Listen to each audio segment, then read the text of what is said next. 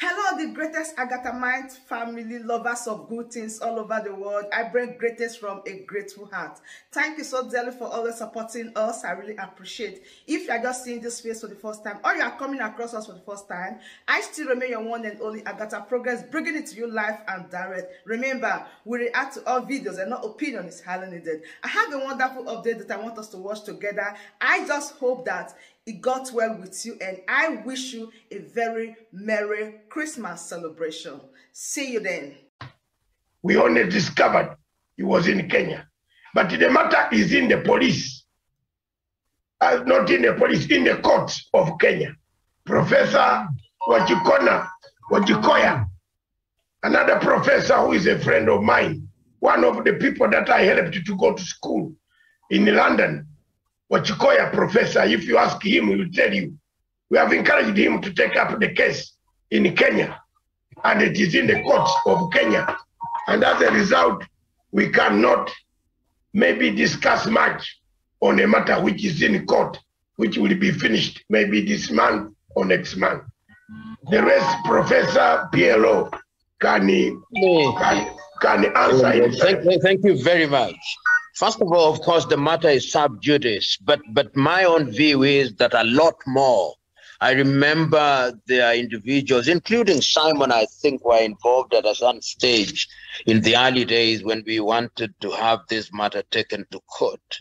And I suspect, and I'm saying this rather guardedly, that a lot more work ought to be done to support the case that is in court, because I think there was a sense in which uh, somebody hurried to court without doing certain fundamental groundwork, but I leave it at that stage. On the question on what ought to be done, I think let us not run ahead of ourselves. Everybody agrees that there is a crisis in Nigeria. Everybody agrees that Boko Haram is a terrorist organization. And in my view, to ask an individual such as myself, what would I do, is, is not a proper question. Let me just be direct.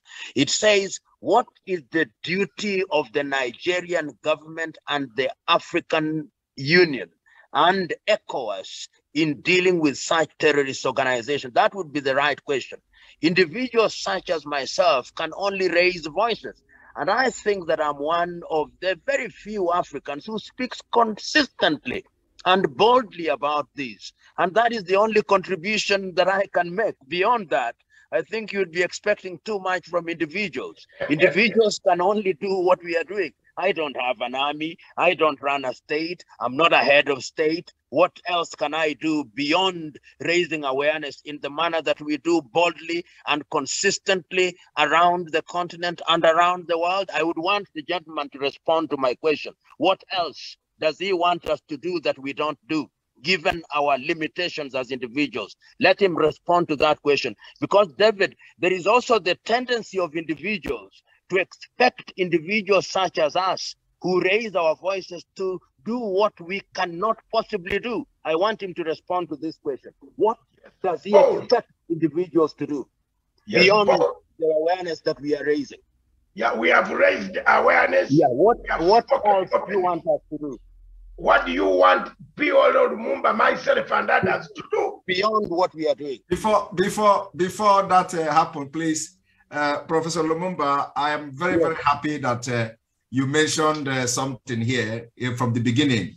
You know, I'm not going to go into details because of uh, the profession and all that.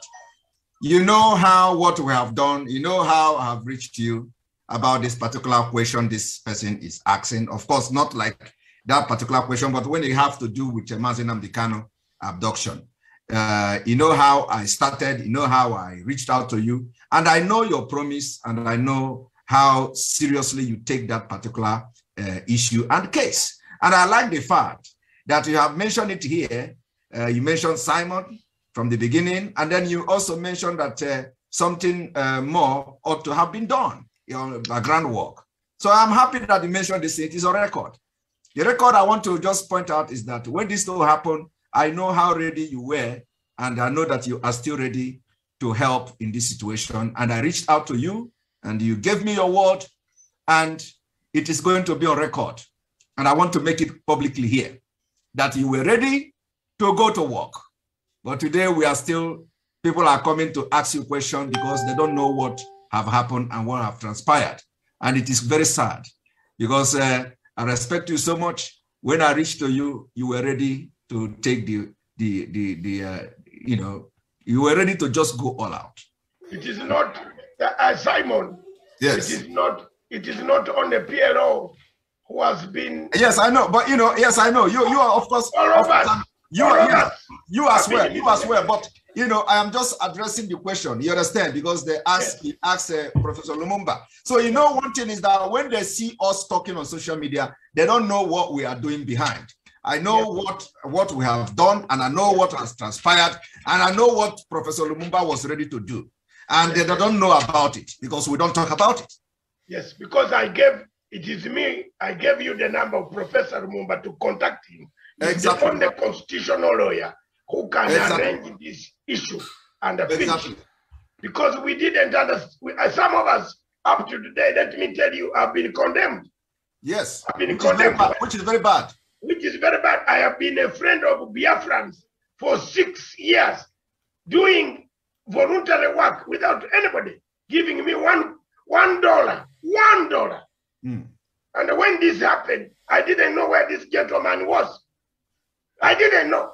Had I known that this gentleman was in Kenya, I would have not taken an interview. Let me tell you, Nigerians today, I would not. He requested me for the interview. I did not request for the interview. But had I known that he was in Kenya, I would have devised him. He told me he was in London. I didn't know he was in Kenya.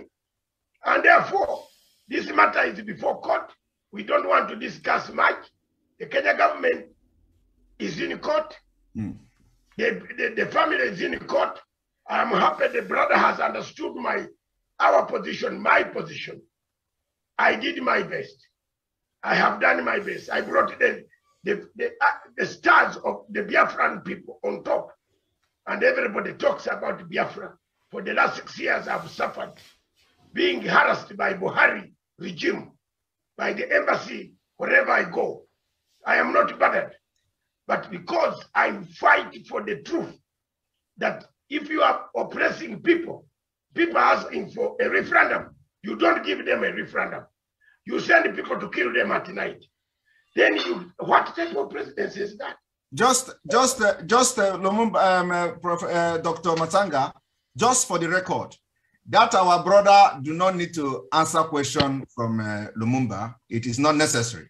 The only No, thing, I, the, the only thing I want to make uh, plainly here is that Professor Lumumba has made something very, very important. He made a very important point and comment. He said more, you know, he, he believed that more, more of underground work should have been done. But let me tell you, I reached out to Lumumba on a, on a directive, directive given to me. The question every concerned Biafra should be asking is why is Professor Lumumba not involved in this case? Yeah. So because I got a direct a direct directive to get him involved. I am making this public for the very first time. Yeah. I got a direct or directive to get Professor Lumumba involved in the case. So when people come here and they see what we are doing on social media, they think we're just making making a, a- a broadcast. I reached out to Professor Lumumba and he was ready. And today he has made a comment which I like very much that more of underground work should ought to have been done, and it was not done. But the person who had this problem gave a directive that I should reach to Professor Lumumba, and I did. So anybody coming here to ask Professor Lumumba, what are you doing? Have you asked yourself a question? Because this is what you don't know. So when I rise up and begin to talk, I have a reason. Because our leader made it specifically clear that Professor Lumumba should get involved. So the question today is that why did the people who have the privilege to make him get involved refuse him? Thank you. Thank you very much, Paul. Lumumba is not amused about that comment you made, and don't uh, don't don't talk more. Yes. We would like to, yes. uh, uh, the, the, uh, PLO is not uh, very amused. because he, he wasted a lot of time preparing, trying to do more about this case. Then all of a sudden, it was taken somewhere else. It's not a problem. It, it, we shall wait. It is in the courts. Let's see how it comes. But let's forge on. Let's tell Buhari that there is need to release Nnamdi Kanu. Nnamdi Kanu is a political scenario. Nnamdi, the problem of Nigeria needs political solution, not rendition, not judiciary. Even if you kill one million, you will not solve the problem of Biafra. You will not. You have to give them what they want. Marriage is not forced.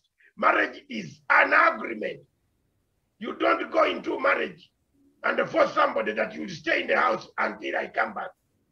If you have not agreed, it won't work.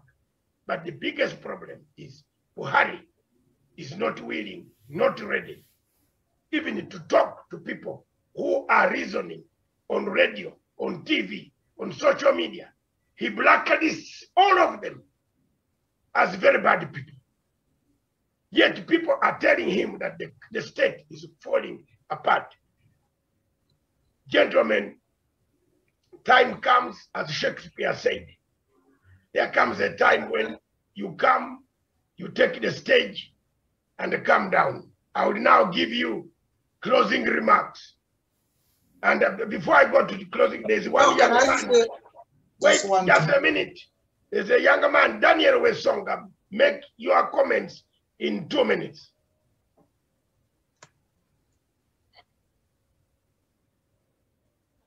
Daniel.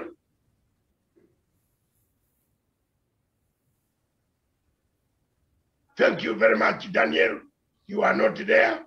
Therefore, I will begin by giving each one closing time, make your parting shot. Let's see how best is this country falling apart.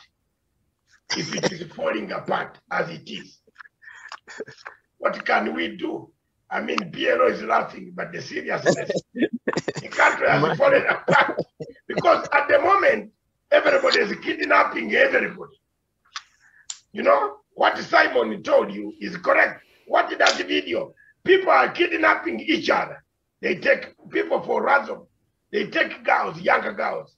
This country needs a, diff, a very immediate approach.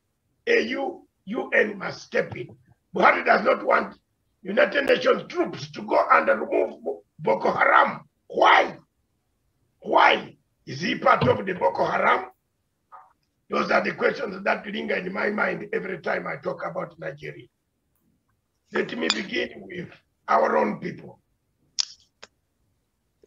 Let, let me let me make my comment. First of all, yeah, first of all, let me say how uh, very glad I am, uh, particularly when I hear from somebody like Simon Ben and indeed all the contributors, because this kind of engagement is also part of education uh, education by people on the ground, people who on a daily basis are involved with the Biafra issues.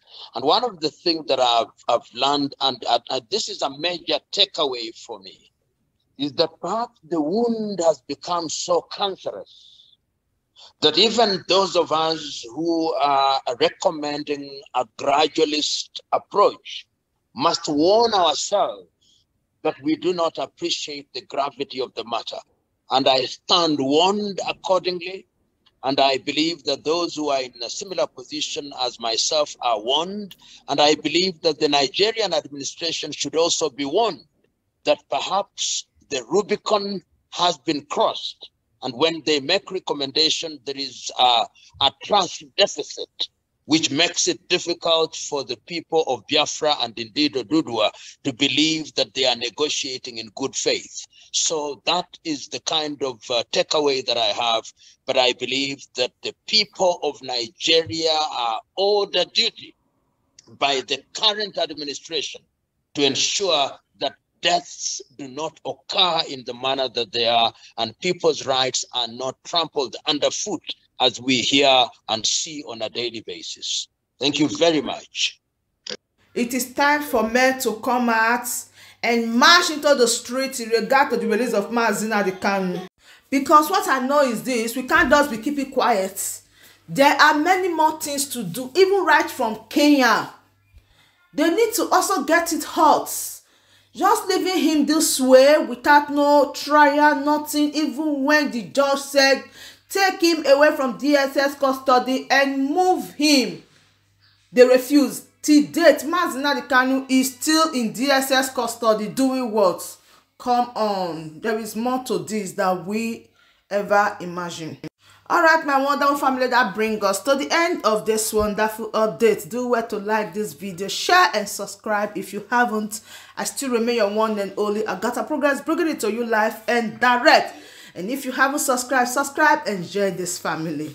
See you when I see you. From me to you, I say bye.